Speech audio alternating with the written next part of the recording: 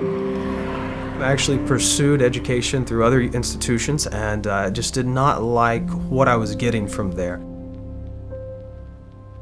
I wanted to find a place that uh, was going to be able to teach me what the Bible says, not what the professor thought. My name is Dustin Alley. I'm married to my wife Sarah. We've been married for 10 years and celebrated our anniversary in December. We've got three children uh, Evan, who's five years old, Ethan, who's two years old, and a four month old little girl named Caitlin.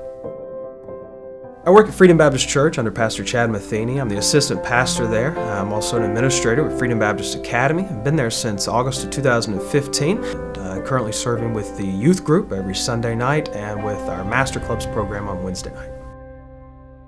I was actually going different routes before the Lord called me to ministry. I was in the Marine Corps and I was pursuing pre med for a while, trying to figure out what I want to do with my life. Uh, it was under the preaching of my current pastor that I actually sought after God's will in my life and said, Lord, what do you want? Yeah, and uh, he called me to ministry, and it was soon after that I realized if I'm going to the ministry, I need to know something about the Bible more than I did. Came across West Coast uh, because of my pastor going to leadership conferences there, hearing of Pastor Paul Chappell and things. A master's degree of religious education and Bible from West Coast Baptist College is um, is a degree that I sought after because of really the prestigiousness I believe that West Coast holds. Pastor Chappell does a great job, I believe, in leadership there. You see that when you're reading his material, you see that through the instructors, even the online program. You just connect with them through email, through the videos that they post, and the personal interaction they give you. Uh, you just see they really care about you and they're very professional in what they do. Uh, and most importantly, they each love the Lord. They always put out uh, that they want your walk with God to stay strengthened during that time. They're very good at encouraging you because just like any degree, it can get challenging at times, uh, especially doing it online with uh, life happening, ministry happening. Uh, you could find yourself uh, sometimes getting down or getting overrun by assignments, but the instructors are really good at encouraging you and allowing you to uh, grow in the Lord while still completing the tasks.